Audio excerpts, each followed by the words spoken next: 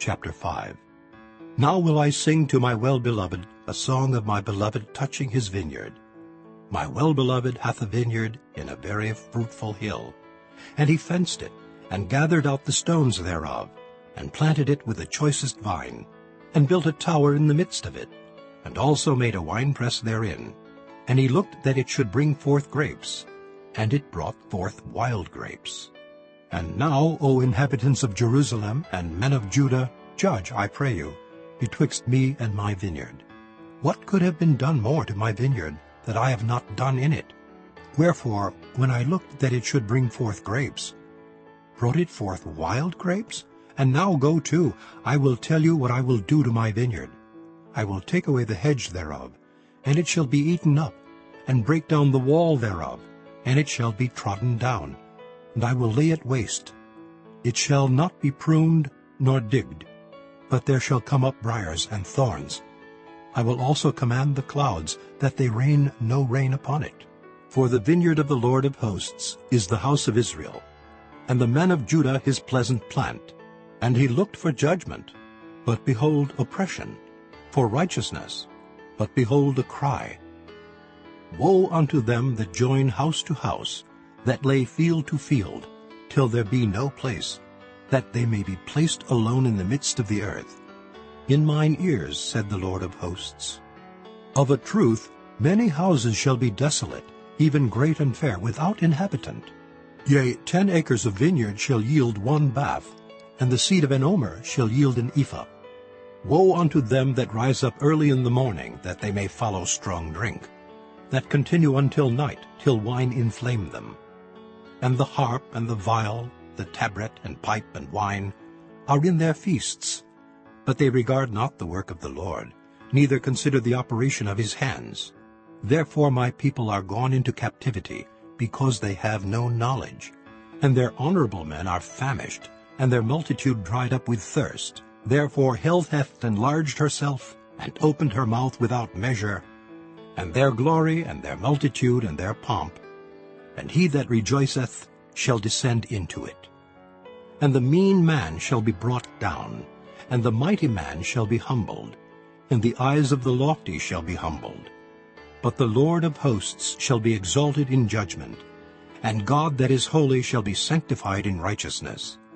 Then shall the lambs feed after their manner, and the waste places of the fat ones shall strangers eat.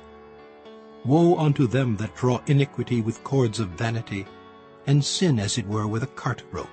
That say, Let him make speed and hasten his work, that we may see it. And let the counsel of the Holy One of Israel draw nigh and come, that we may know it.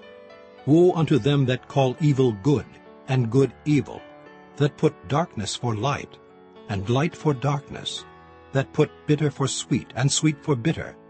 Woe unto them that are wise in their own eyes, and prudent in their own sight. Woe unto them that are mighty to drink wine, and men of strength to mingle strong drink, which justify the wicked for reward, and take away the righteousness of the righteous from him. Therefore as the fire devoureth the stubble, and the flame consumeth the chaff, so their root shall be as rottenness, and their blossom shall go up as dust, because they have cast away the law of the Lord of hosts, and despised the word of the Holy One of Israel. Therefore is the anger of the Lord kindled against his people, and he hath stretched forth his hand against them, and hath smitten them. And the hills did tremble, and their carcasses were torn in the midst of the streets. For all this his anger is not turned away, but his hand is stretched out still.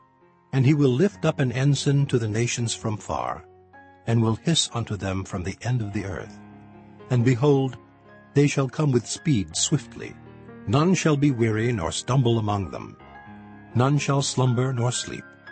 Neither shall the girdle of their loins be loosed, nor the latchet of their shoes be broken. Whose arrows are sharp, and all their bows bent. Their horses' hoofs shall be counted like flint, and their wheels like a whirlwind. Their roaring shall be like a lion. They shall roar like young lions. Yea, they shall roar, and lay hold of the prey, and shall carry it away safe, and none shall deliver it. And in that day they shall roar against them like the roaring of the sea. And if one look unto the land, behold darkness and sorrow, and the light is darkened in the heavens thereof. Chapter 6 In the year that King Uzziah died, I saw also the Lord sitting upon a throne, high and lifted up, and his train filled the temple. Above it stood the seraphims, each one had six wings.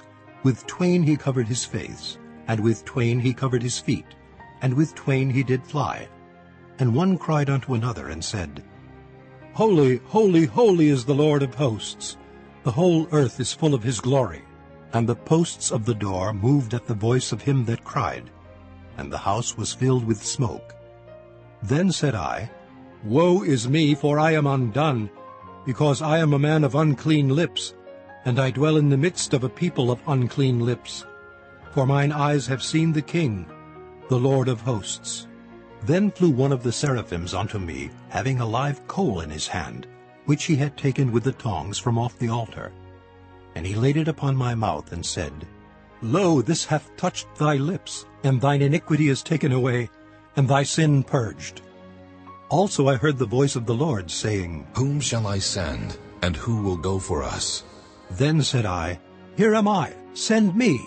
And he said, Go and tell this people, Hear ye indeed, but understand not, and see ye indeed, but perceive not.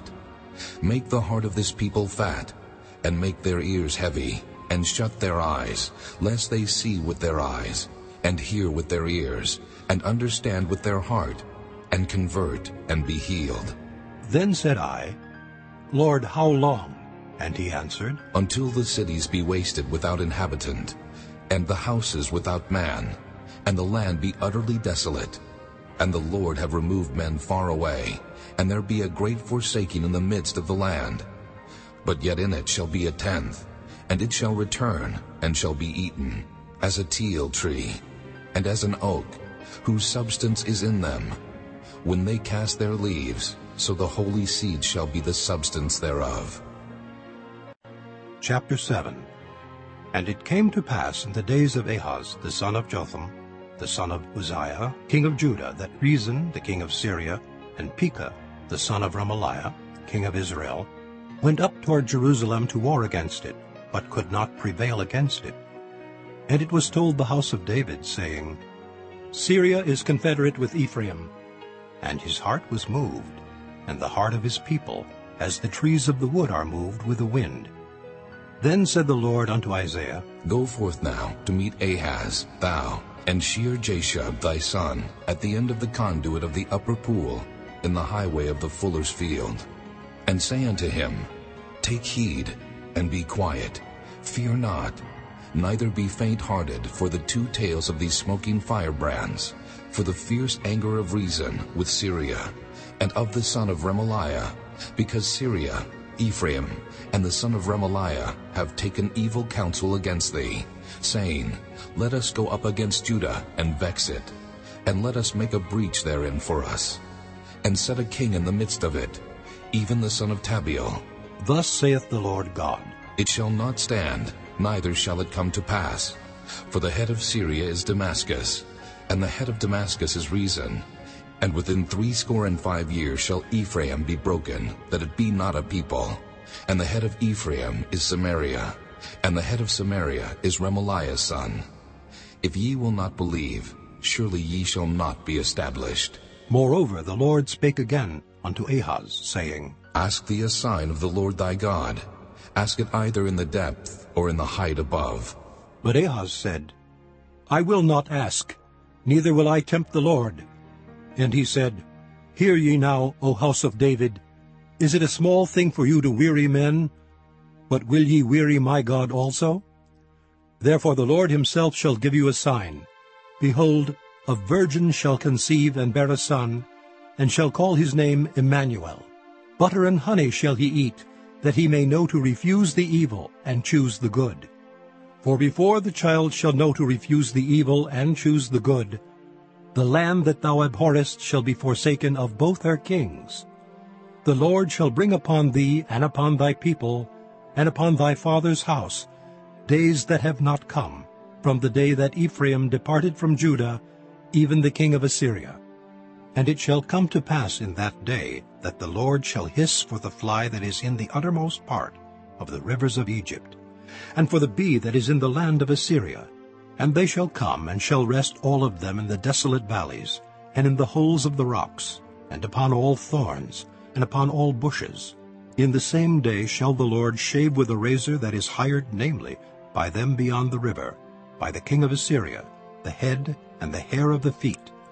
And it shall also consume the beard, and it shall come to pass in that day, that a man shall nourish a young cow and two sheep. And it shall come to pass, for the abundance of milk that they shall give, he shall eat butter. For butter and honey shall every one eat that is left in the land.